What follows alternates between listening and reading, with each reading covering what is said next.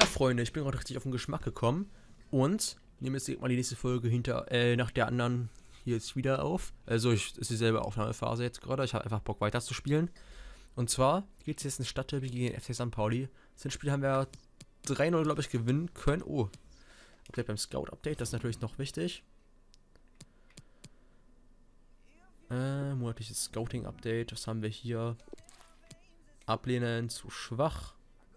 Den gucken wir noch einmal uns an eine gewisse Zeit. Er hier ist zu schwach. Oh, das sieht gut aus. Da gucken wir auch noch mal einen Monat. Denn alle Spieler, die nach drei Monaten noch ein über 90er Potenzial haben, werden vorsichtshalber erst einmal verpflichtet. Aber er ist auch zu schwach. Er auch. Er auch. Und oh. Den gucken wir uns noch an. Und er hier ist zu schwach. Also Tom Falke, Tom Lange und Jonas Bergmann werden hier noch weiterhin beobachtet. Und jetzt ist nichts mehr, was wir noch machen können. Deswegen, Leute, Zeit fürs Hamburger Stadtderby. Alle Spieler sind fit, das freut mich. Und mit diesem Kader werden wir St. Pauli jetzt ein zweites Mal in diesem Karrieremodus in die Schranken weisen. So, hier sind wir jetzt live aus dem Millantor-Stadion mitten am Heiligen Geistfeld. Und es sind auch schon ein paar Zuschauer da. Das Hamburger Stadtderby steht uns bevor. Und jetzt wird es wieder spannend, denn mal wieder wird die Frage geklärt, wer die Nummer 1 in Hamburg ist. Und das ist, das wissen wir natürlich alle, der HSV. Letztes Derby 3-0 gewonnen. Und das werden wir jetzt hier einfach mal wiederholen, würde ich sagen.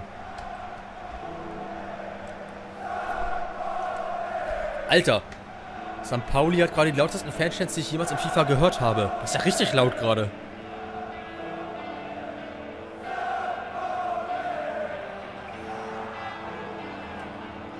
Alter Falter.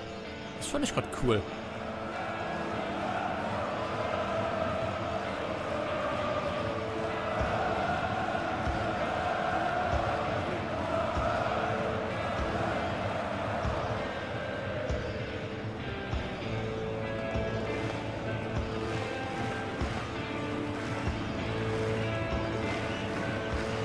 So. Also die Aufstellung muss man sich mir unbedingt angucken. Alakuin. Echt haben die ja Meier gekauft. Vor dem habe ich echt Angst. Ich habe Angst, dass er zum zweiten Asamoah werden könnte. Und vor allem, weil er immer gegen HSV trifft. Aber ist auch egal. Das Stadtderby gegen den FC St. Pauli ist hier mit eröffnet. Oh nein! Oh, Pollersbeck. Wäre das hier echt, hätte ich schon wieder so ein Herzinfarkt bekommen in der Situation. Aber ihr alle kennt es ja, weil Ihr alle seid Fan von einem Verein, der einen Derby-Gegner hat.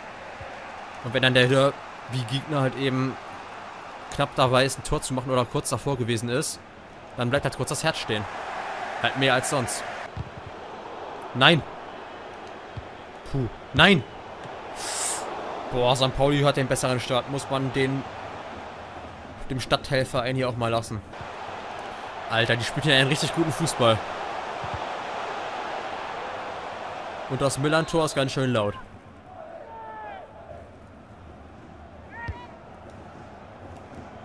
Boah, ganz komische Ecke. Geht hier an allen vorbei.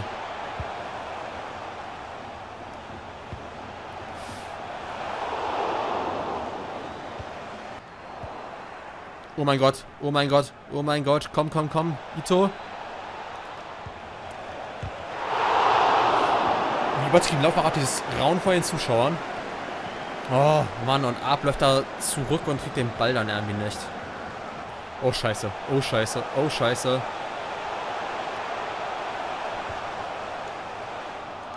Oh, zum Glück haben wir ein bisschen die Luft hoch heute am eigenen 16er, sonst hätte das schon 2-0 für St. Pauli stehen können, mindestens. Boah, das Spiel ist ein ganz anderes als das 3 0. Zumindest von der Halbzeit her. Okay, die zweite Halbzeit war da auch torlos. Aber zu dem Zeitpunkt haben wir halt eben schon 3-0 geführt im Hinspiel.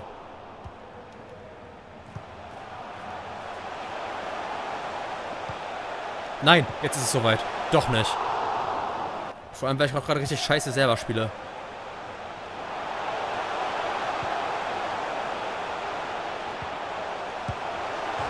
Oh, die Latte rettet uns. Alter Falter.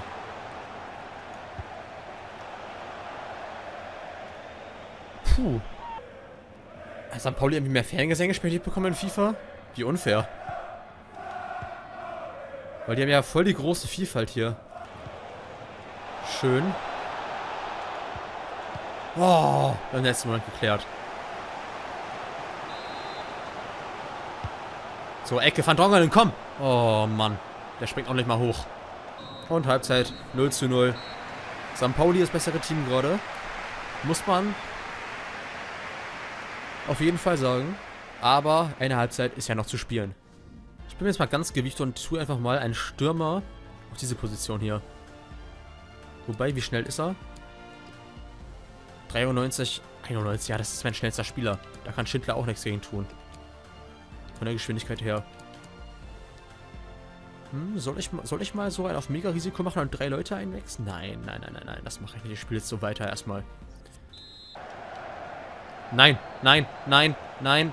Oh, Santos, was machst du denn da für eine komische Bremse?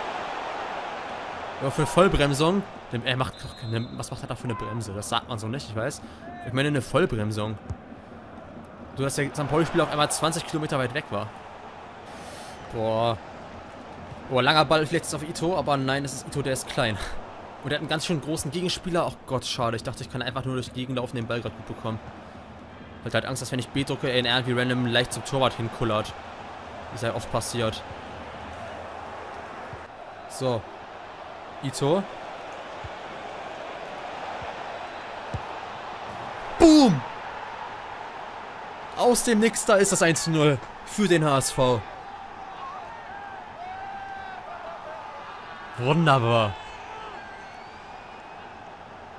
Und auf einmal wird es schlagartig ganz schnell am Millantor.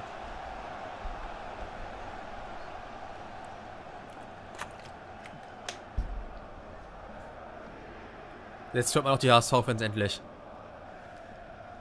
Bis zur Isar. Immer wieder HSV. Aber ganz leise, weil sie einfach nur so einen winzigen Mini-Gästeblock in diesem Stadion, wo St. Pauli halt spielt, hier in FIFA haben. Jetzt ist lauter. Hier regiert der HSV. Und das ist ja auch so. Das ist Hamburg, wo wir uns hier befinden. Und hier regiert der HSV. Es gibt keinen anderen, der als Nummer 1 in dieser Stadt hier in Frage kommt. So. Damit das auch mal geklärt ist.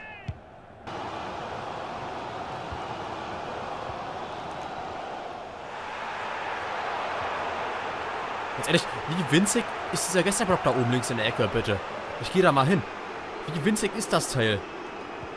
Das ist ja eine Frechheit hier.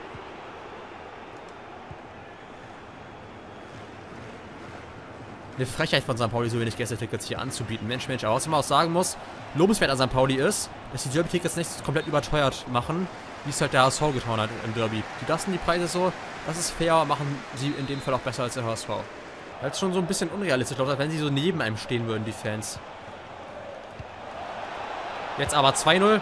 Oh, schade. Dann wäre Deckel drauf gewesen, denke ich. Und das ist Abseits.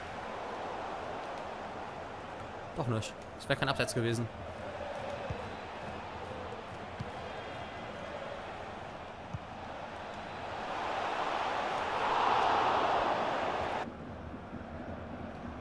Ähm. Okay, Polle.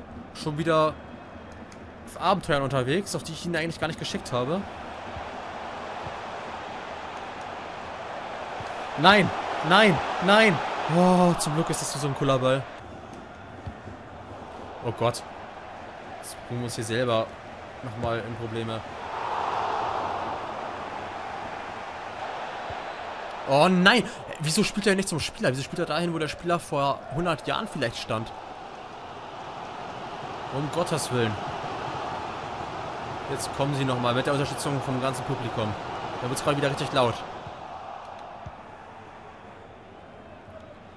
So, aber Narei, der kann schön laufen.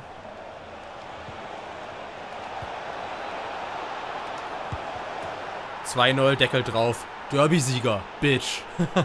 oh man, das Bitch hätte es sein müssen. Das war richtig fehl am Platz. Aber egal. Derby-Sieg ist Derby-Sieg. Und jetzt fangen sie auf einmal an zu pfeifen.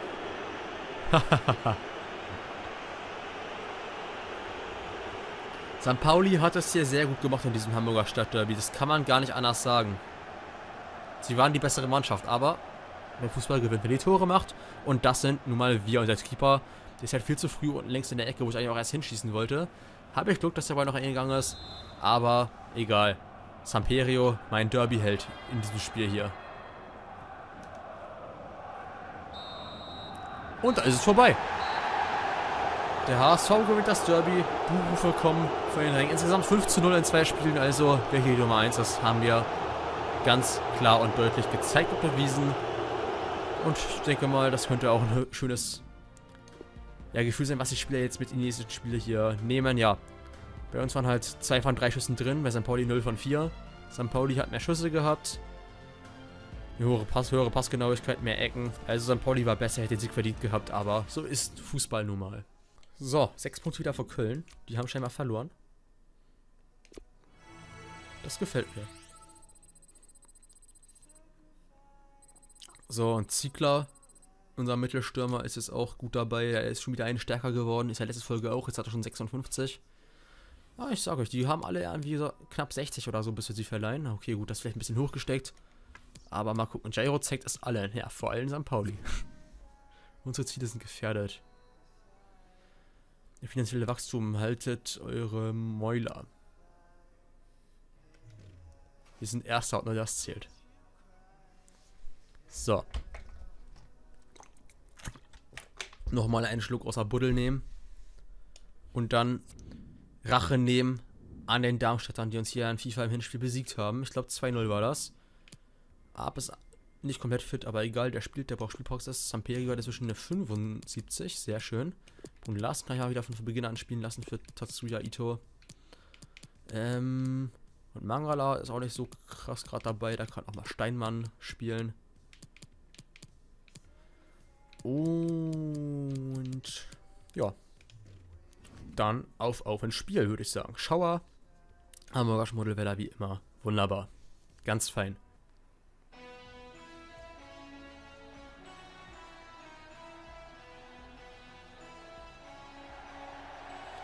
So, Topspiel hier am 26. Spieltag der zweiten Fußball-Bundesliga. Der Tabellenführer, den Hamburger, der Hamburger Sportverein, empfängt hier einen der besten Verfolger mit den Darmstädtern. Ich weiß gerade nicht, ob sie Dritter oder Vierter sind, aber sie sind auf jeden Fall auch sehr weit oben mit dabei. Hier die Tabelle eingeblendet. Sie haben 46 Punkte. Sie können mit einem Sieg vier Punkte an uns rankommen. Und Köln hat unentschieden gespielt. Das heißt, wir können uns am Ende der Folge, wenn wir. Nein, nee, das ist ja nicht das Ende der Folge, das ist erst das zweite Spiel von drei. Und hier die hier der HSV-Rufe natürlich. In ganz Hamburg regiert der HSV. Das Derby wurde zum zweiten Mal gewonnen. Natürlich muss man das hier noch einmal zeigen. Und ich hoffe, auch wenn wir aufsteigen, gibt es auch nochmal eine richtige Choreo. So sieht dieses ganze Schal hochhalten im ganzen Stadion in FIFA sieht ein bisschen aus wie die Choreo am letzten Bundesligaspieltag gegen Gladbach. Weil dieses kleine HSV-Bildchen äh, da hochgehalten haben mit der Raute drauf. Fand ich, war jetzt keine geile Choreo, aber war ganz schön so nach dem Motto, so alle steht da in HSV. Von daher war es ganz schön. Und ja, erste Torernährung. Wie heißt denn der Keeper? Heuer. Heuer Fernandes. Heuer. Wieso heißt man Heuer? Naja. Die Frage, wieso man so heißt, könnte ich beantworten, weil zufälligerweise der Nachname eines Elternteils so gewesen ist. Boom, Max Sapai deckt auf. Ah, schwacher Ball, schwacher Ball. Gute Chance für Darmstadt. Nein, Oh, ich will mich rächen. Nicht, sie sollen noch einmal dasselbe machen wie im Hinspiel. Nein, ich will mich rächen. Aber das Ding ist halt, im Hinspiel wusste ich auch noch nicht, dass das ein Titelkandidat, äh, ein Konkurrent da oben ist, meine ich. Aber da waren wir auch noch nicht Erster. Da standen wir noch nicht so gut da insgesamt. So, komm, schick mal gut lassen. Oh Mann, aber er braucht viel zu lange den Ball anzunehmen. Ich überlege ganz ehrlich, ihn vielleicht wieder zu verkaufen, weil ich habe mir irgendwie mehr von ihm versprochen. Ja, was heißt mehr versprochen? Ich glaube, einfach mit seiner nicht so hohen Geschwindigkeit auf den Flügeln ist er langfristig keine so gute Lösung für uns. Weil ich halt eben sehr auf schnelle Außenspieler stehe.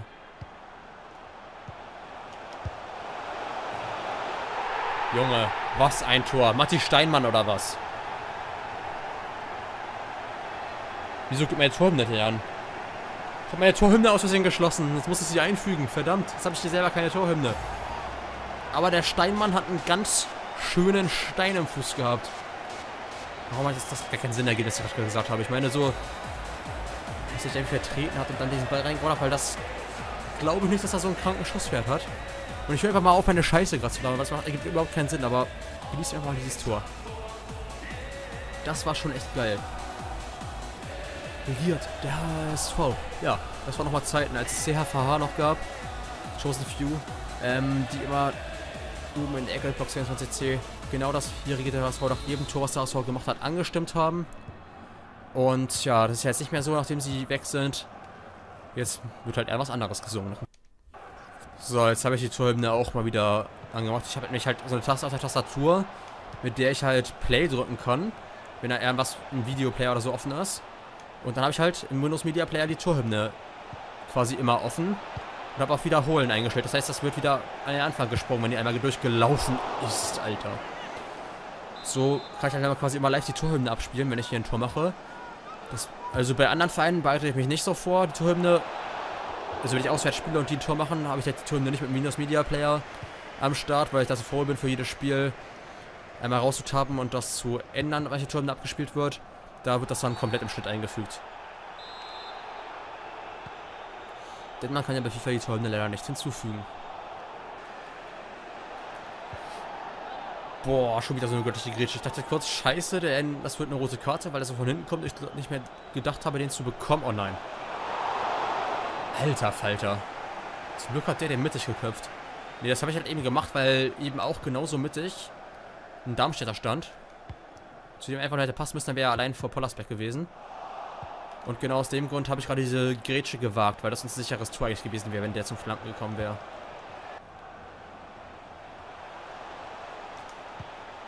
Oh mein Gott.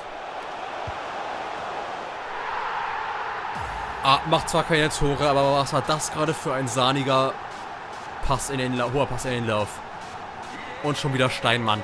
Matti Steinmann. Was zur Hölle. Aber kommt einfach diesen Pass. Was ist das für ein krankes Ding, Alter? Also spielt die niemand in echt, ey. Der steht nächstens dann bei Real unter Vertrag. oder Barca oder so. Nee, das ist natürlich übertrieben, aber Alter, was ein geiles Ding. Dieses Tor samt Vorarbeit appreciate ich gerade richtig krank. Und an beiden Toren was Geiles dran. Geile Vorarbeit und geiler Schuss. Also, ist doch nice. Ich habe gewechselt. Narai und Voigt sind gekommen. Voigt für Papadopoulos und Narai für Samperio. Und ja, Papa habe ich jetzt mal rausgenommen, weil er eben am wenigsten Kondition noch hatte von einem Spieler auf dem Platz. Und ich ihm jetzt einfach mal eine Spielpause gönnen wollte. Ah, schade, bekommt er nicht mehr. Und jetzt haben wir quasi unsere Talent in Verteidigung gerade komplett drin mit den beiden, die ein Potenzial von über 80 haben. Boah, ein Glück habe ich Pollersbeck da gerade rausgeholt. So konnte er den Ball doch abfälschen, weil sonst wären die zu zweit aufs Tor zugelaufen und das wäre es dann, denke ich, auch gewesen mit dem 2 zu 0. Da hat Pollersbeck noch einen Rückzieher gemacht vom Rauslaufen gerade. Alter Falter. Beim 2-0 auf Wiedersehenszukunft halt auch schon ein bisschen sehr gewagt. Hier echt virtuelle HSV-Fans. Oh Mann. Ja, ein Zuschauer meinte mal, dass es krank ist, mit Steinmann zu spielen. Weil er scheinbar so krass ist. Ich meinte dann damals, als ich es ausprobiert hatte, nein, irgendwie nicht. Und jetzt macht er solche zwei Dinge. Also, lieber Zuschauer, falls du das noch verfolgst, das Projekt, du hattest recht.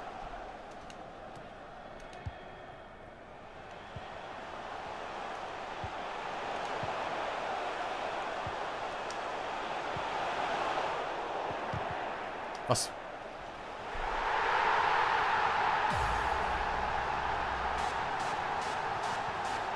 Was zur Hölle haben die da... Mat Matti Steinmann! Matti Steinmann! Was? Junge, Junge, der ist jetzt Stammspieler. Ja, zwar kein Lupenreiner, aber ein Hattrick. Junge, was zur Hölle. Was machen der Abwehrspieler der Torwart Und dann steht der Ausreicher Steinmann richtig. Was passiert denn hier gerade? Ich würde sagen, die Rache an Darmstadt ist uns jetzt auf jeden Fall gewiss. Alter Falter. Den Typen lasse ich im nächsten Spiel erstmal wieder spielen, glaube ich, wenn ich es nicht vergesse. Der ist ja gefährlicher als alle Offensiven von uns. Oh Gott. Das wäre ja fast genauso kurios wie das Tor eben. Aber es ist die 83. Das kommt viel zu spät für die, das Tor. Aber was ist da gerade passiert? So Van Dorn, den er vorbeigelassen hat. Und ich weiß auch nicht, wie Post Pollersbeck das schon wieder macht. Aber egal, wir führen immer noch. Weil Steinmann der Fußballgott da war. Von daher passt das schon. Hat übrigens wahrscheinlich schon mehr Tore gemacht als Arp insgesamt in der Saison. Würde jetzt mal kurz so grob schätzen. Schönes Ding.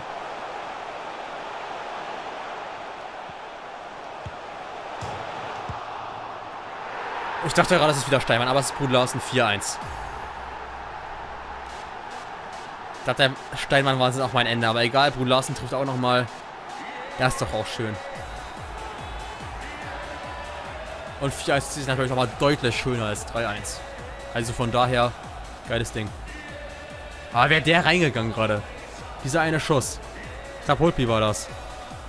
Das wäre natürlich nochmal viel mehr Premium gewesen.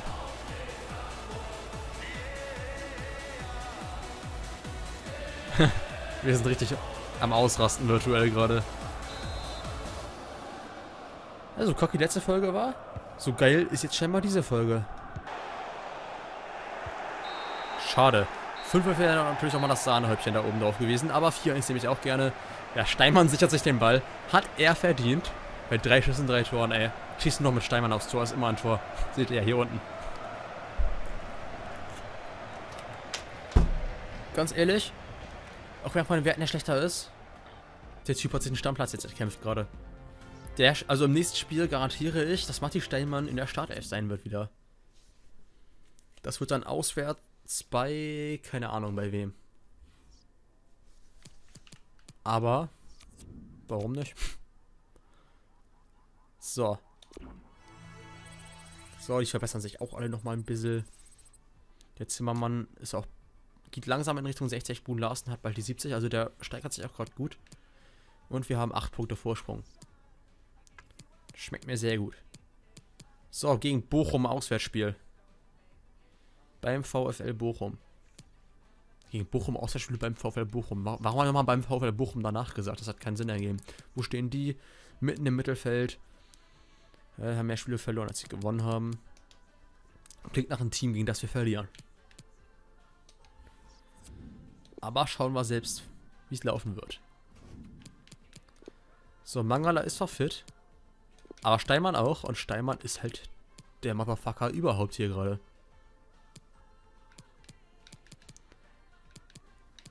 Von daher kann ich mal Wang für Ito reinnehmen. Und dann fahren wir so auswärts nach Fürth.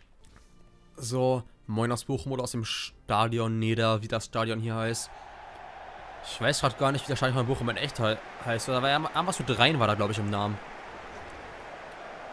Ja, so rein Energie war ja Köln, aber was war Bochum?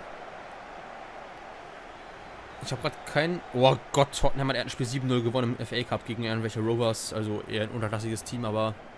Ach, nicht Rhein, sondern Ruhr. Vonovia Ruhr Stadion. Habe ich Rhein und Ruhr gerade durcheinander gebracht. Es tut mir leid, liebe Bochum-Fans, falls Bochum-Fans dieses Video hier sehen und jetzt beleidigt fühlen sollten, weil ich das Stadion nicht kannte. Es tut mir leid. Aber jetzt sind wir alle aufgeklärt. Also mal gucken, ob Steinmann hier anknüpfen kann an seine Mega-Leistung. Ab, kommt ab, den kann er ihn weiterleiten, kann er ihn weiterleiten, kommt ihn weiter. Okay, er geht nicht zum richtigen Mann, er geht zu Wang und der verkackt den Schuss, weil ich ihn selber auch verkackt habe. Oh mein Gott! Oh, das hätte so schön werden können, aber das wurde irgendwie noch komischerweise trotzdem recht gefährlich, weil der Abwehrspieler noch so richtig komisch zurückgepasst hat. So, Fiete. Okay, oh, das, ja, das war scheiße von mir. Oh, Wieso lauft ihr so, wie ihr lauft? Wieso lauft ihr nicht, wie man es in echt tun würde? Und wieso bietet man sich nicht an? Naja. Oh nein. Oh, danke, Pollersbeck.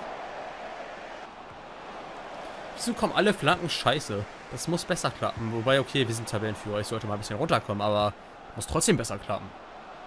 So halten wir die Klasse nicht in der Bundesliga, wenn wir so weiterspielen.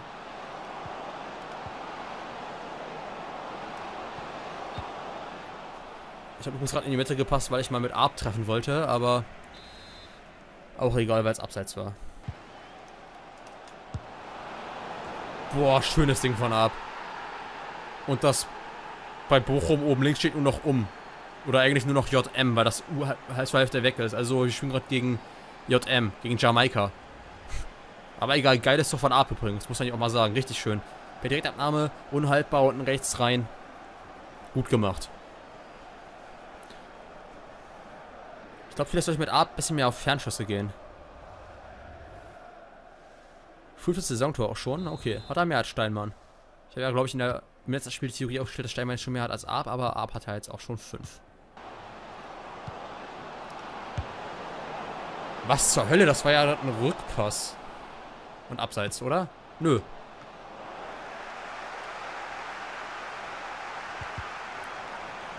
Das war gerade echt fast ein Rückpass zum Flankengeber. Ich weiß nicht, ob er genau zum Flankengeber gegangen ist, aber naja.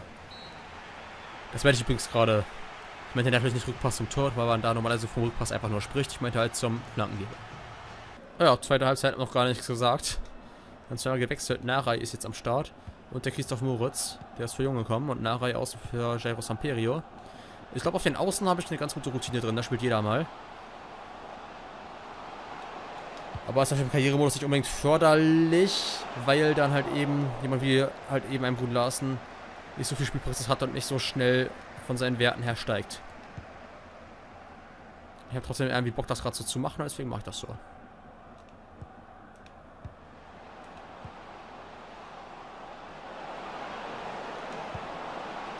Oh, richtig schön in den Rücken gespielt. Mit schön meine Scheiße.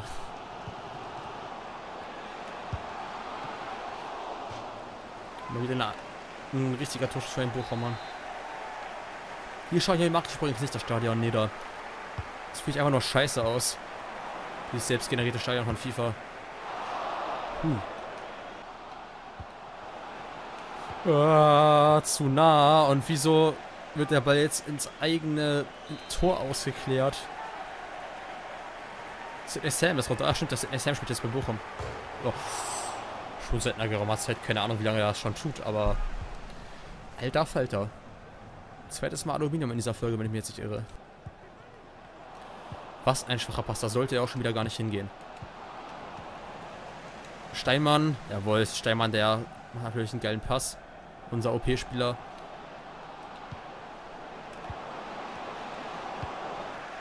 Und Apex ist zu weit vor, als dass ich ihn abspielen könnte. Es wird wohl ein ganz dreckiger 1 0 Sieg. Ist einer in die Bochumer. Alter, der ist schnell. Scheiße. Den muss ich ziehen lassen. Nein. Schon wieder Pfosten.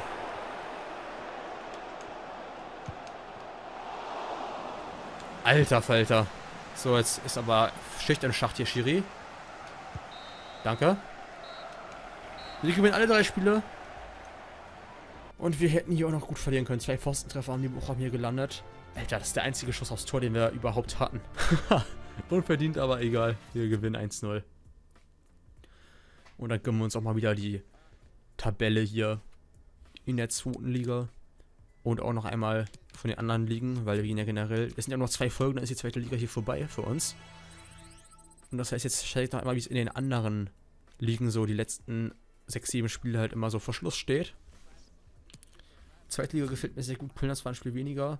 Aber so, wir haben auf jeden Fall 11 oder halt eben 8 Punkte Vorsprung, was auf jeden Fall etwas, was mir sehr gut schmeckt, sagen wir mal so. Also Meisterschaft in der zweiten Liga sollte uns jetzt eigentlich keiner mehr nehmen können. Oh, Köln spielt echt auf Unentschieden. Das ist, denke ich mal, auch unser Glück. So, St. Pauli zwischen abgerutscht auf den 9. Die sind gerade echt nicht so gut dabei. Gehen wir mal nach oben hier bei, zu den Spielen. 2-2 gegen Paderborn. Und das war noch vor dem Derby. Dann haben wir St. Pauli-Spieler 2 erst bei Sandhausen gewonnen. Und ich bin... Wieso bin ich auf einmal nach Turba? Hm, Leute, ich bin irgendwie gerade zu den direkten Hinspielen gesprungen. Davor haben sie gegen Sandhausen verloren. So. Das ist der Moment, in dem ich sein will, der März. Und gegen Duisburg verloren. Wo ist Duisburg? Unter St. Pauli. Schande, Schande. Oh, Kiel ist auf dem 16. abgerutscht. Das wird ja noch ganz hart für Holstein. Naja, gehen wir mal zu den Tabellen hier rüber. Österreich, Salzburg oben, ja, das war beim letzten Mal auch schon so. Hier ist auch alles normal. Kopenhagen, ja, hier sind ja gerade alle ganz realistisch. Okay, gut, das Manu, Manu hat sich ja inzwischen wieder gefangen, aber ja, City und Liverpool dahinter und Tottenham, die eigentlich ersten drei gerade in der Premier League. Und alter Arsenal und Chelsea, die kacken ja richtig rein, weil Everton und Leicester gerade vor denen sind. Und besser absteigen, Cardiff City, Fulham und die Wolverhampton Wolves. Ja, warte mal, ne Quatsch.